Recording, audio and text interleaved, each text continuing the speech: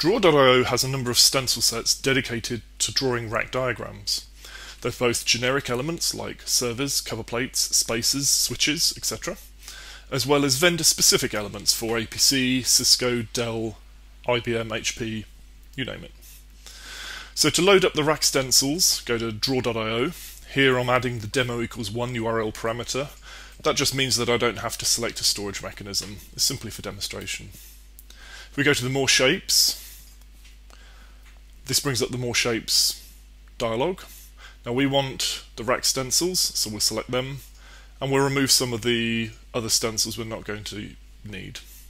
If you tick the remember this setting, when you refresh the page, when you come back to Draw.io, it will only show the stencils that you've selected, in this case, general and rack. So here are the rack stencils. The first two shapes are the most important containers. They are the racks themselves. So we have rack cabinet and a numbered rack cabinet. Numbered rack cabinet is simply if you want to be able to relate to a real world installation what is on what rack. How the rack containers work is very generic.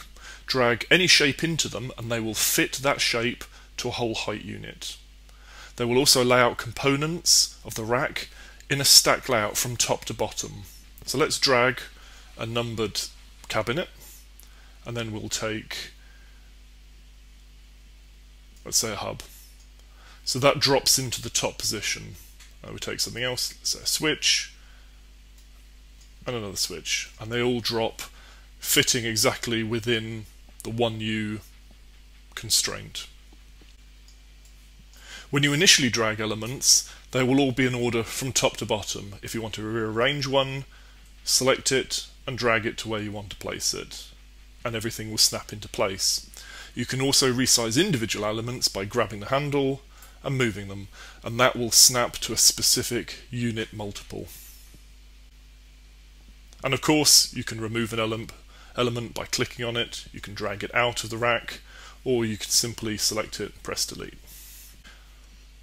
In terms of changing the dimensions of the rack itself, you can select and drag the rack as you can any shape in draw.io. You can change the width and everything will resize to fit the width of the cabinet.